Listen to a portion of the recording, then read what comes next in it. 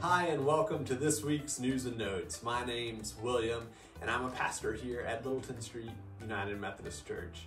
I'm excited to tell you what is going on in the life of the church this week. This week, uh, VBS setup is taking place. I'm not sure if you've been watching the Olympic trials, but they begin in two weeks. Our Olympic version of Vacation Bible School begins next week. Monday at 10 a.m., there will be a Vacation Bible School volunteers meeting in the fellowship hall. So if you're volunteering for Vacation Bible School, please make sure you are in the fellowship hall at 10 a.m. on Monday, July 15th. The 16th, 17th, and 18th is Vacation Bible School. Faster, higher, stronger is the theme, and we are excited to teach our children about Jesus, about God, about the Holy Spirit for three days from 9 a.m. to 12:15. It's really going to be fantastic. Looking ahead to Monday, July 22nd, there will be a prayer meeting. This will be an opportunity for us to come together as a community and pray for each other. Uh, pray for our community, the city of Camden, Kershaw County.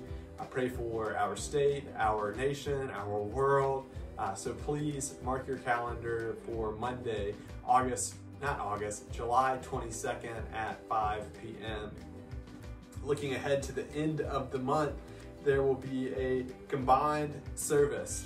That'll be July 28th at 10 a.m. So please mark your calendar. Sunday, July 28th, 10 a.m. is a combined service. We will be blessing book bags. Uh, we will be giving third graders Bibles. Uh, it's promotion Sunday. It's going to be a fantastic Sunday, uh, Sunday, July 28th, 10 a.m. in the gym. Gary and I begin a sermon series this Sunday, and it is called The Armor of God. This Sunday will be the battle, and then we'll go through each piece of armor that Paul tells us about in Ephesians chapter 6. It's going to be a great sermon series, so please, uh, we hope to see you here uh, at 9 a.m. for traditional worship, 11:15 for traditional worship, 11:15 for contemporary worship in the gym, 10:15 uh, Sunday school hour. It's going to be a spectacular six weeks of sermon series. We hope to see you Sunday, if not before. Love and peace, friends.